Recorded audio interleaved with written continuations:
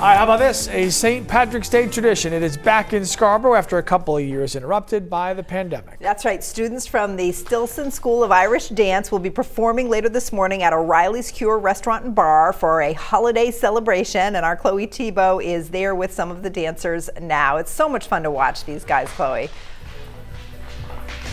Hey guys, hey Sharon, you know it really definitely is. I'm going to introduce you to these dancers now. We have Isabella Balzano, Addie Miller, and then Madeline Walsh. I'm actually going to pull Madeline down to ask you a couple of questions.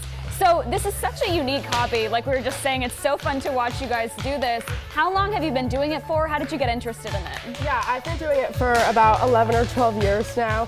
And I started kind of at a recreational studio. I was doing ballet, tap, hip hop, clogging, all the fun stuff. And um, I saw that Irish dancing was also offered, so I decided to try it out for a year and now 11 or 12 years later I'm here. And it's paying off. I mean, tell yeah. me what you're going to in about a month.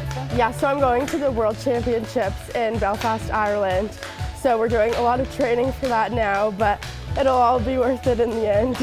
so awesome. Congratulations. And one more question. You know, I was talking to one of the parents in your group and they were telling me I should ask about your hair.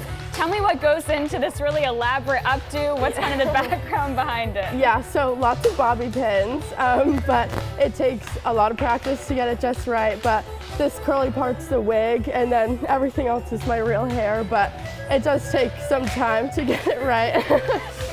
Yeah. Well, thank you so much again for waking up early. You can go ahead and go join your other girls in dancing. And just a note, if you want to come out today at 8 o'clock this morning, O'Reilly's Pure Restaurant and Bar is going to be hosting a breakfast. So you can come see them dancing then. And then coming up in the next half hour, these girls are going to try to teach me some moves. We'll see how that goes. Live in Scarborough, Chloe Teboe, News Center, Maine.